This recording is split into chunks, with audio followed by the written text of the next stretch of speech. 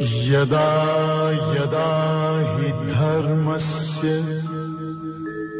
ग्लानिर्भवति Bharata अभ्युत्थानम् अधर्मस्य